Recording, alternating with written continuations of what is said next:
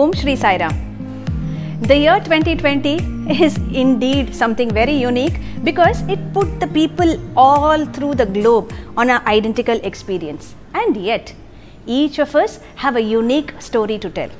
How is it possible, my friends?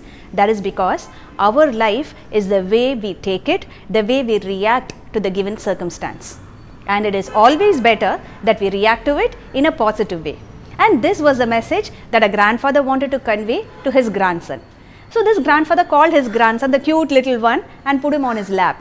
And he told him, My dear son, in my heart there are two wolves, and these two wolves constantly keep fighting. The grandson was really scared. Wolves are there in your heart. And the next thing the grandfather said is, Not only in my heart, the wolf is there in your heart, and it is there in the heart of each and every person in this world. And these wolves are constantly fighting. Now the grandson started visualizing the fight and he asked the next question Grandpa, which wolf wins this battle? That time the grandfather said something that was very profound. My dear son, these two wolves are inside you, right? The wolf that you feed will become strong, and definitely the battle will be won by that wolf. So choose the wolf you want to feed correctly. Now, what are these two wolves? One is the positive thoughts, and the other one is the negative thoughts. So, sometimes we hear of people going into depression, going into mental illness, and maybe even they go to the extreme step of committing a suicide. So, what has actually happened in their lives? They've been constantly feeding this negative wolf that was there, and that is precisely the reason why we have to go to an extreme step. Can we look at the same thing in a different way? Are you interested in knowing that? Come on. My dear friends, is it possible to have a different perspective for a given situation? Once a family went out trekking the whole day and they came back in the evening. And when they came home, they were in for a surprise.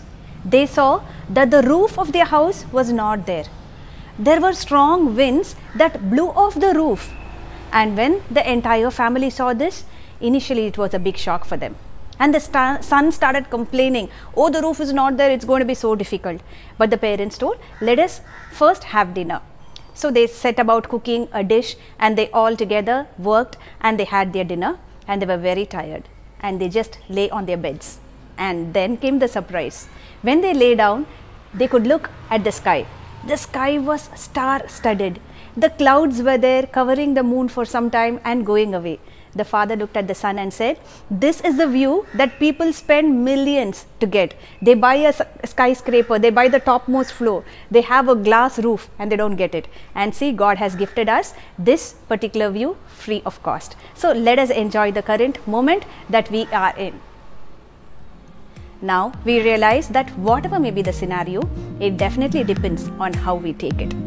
My dear friends, we realize that whatever may be the scenario, we have to somehow keep up our spirit and that will change the way we face life. Now, I also told another thing in the beginning that we should not jump in joy when we meet with success. But how can we accept this? To achieve something in life, we have planned, we have worked day in and day out, we have slogged it out. And if you say that we should not celebrate our success, I think it is little bit disheartening. But let us analyze this also. And again with a story. Once there was a soldier who went into the neighboring country, attacked the place where the enemies had stored their arms and ammunitions, collected a lot of vital information and returned to his country without being caught. And when he did this valorous task, obviously a lot of awards were given to him. He was the talk of the entire country. All the soldiers looked up to him, even the common man looked up to him. There were a lot of interviews, selfies, etc. And all this obviously went into the head of this particular soldier. And one day he and his family were dining in a restaurant. And by then he had got used to these uh, looks, no, with a lot of admiration coming his way. And same thing happened even that day. There were another, there was another family that was just sitting in the opposite table, and uh, they were looking at him. And after some time, as he expected, the head of the family came and told him, Sir, can I have a selfie with you and can you give my son an autograph? He said, Yeah, I will. And uh, he signed the autograph and he took a selfie. And still the man wanted to tell something. So he said, ah, Go ahead, I feel you have something to say. He said, Sir, uh, your act is something that inspires me. But can I share one small thing with you? He said, Yeah, go ahead. Sir, the day you went and attacked the neighboring territory, it was I who packed your parachute. At that moment, the soldier thought for a while. He said, Can you just get up? I want to hug you. And he gave him a hug. And as he did it, there were tears that were flowing down his eyes. Then the man said, Sir, did I see something that offended you? I'm really sorry. I didn't mean to do that. He said, No, no, let me compose myself, my friend. And he looked at this family. The soldier looked at his family and said, Here is the person. He is a reason for me to be alive today. Just imagine if he had not packed the parachute carefully, I wouldn't have been able to land in the enemy's territory. And he went back home that night, sat in the balcony, and he was thinking. He was thinking of all the people. He thought of the pilot. He thought of the person who made the weapons. He thought of each and every person who was the reason behind what he was on that particular day. And when he recounted all this with heart filled with gratitude, he realized that what he did was in fact nothing. So, my dear friends, what we are today is not because of only our effort. There is the effort of so many people. For every child to shine in the life, there is the effort of the parents, the community, the school, the teacher, in fact, the effort of the child, but above all, the grace of God. So, do not jump in joy by the joyous moments that come your way. Can you see a picture that is there on the screen now? It is that of an elephant trying to ride a bicycle. It, even this task will be very easy, but to have a balance in life becomes very difficult. Let me conclude with one last tip. So, what happens if we keep worrying in life? Swami gives us a beautiful analogy. Swami says, uh, once there was a Guruji who asked his disciple to bring 2000 rupees, but not as a currency note, but as a 1 rupee coin. So the boy went and collected all this, and when he came, it was a big bag, so heavy. He brought it. He said, Guruji, here it is, and he put it at his feet. Now the Guruji said, I have kept a 2000 rupee currency note over there. Go and bring it. The boy went and brought it effortlessly.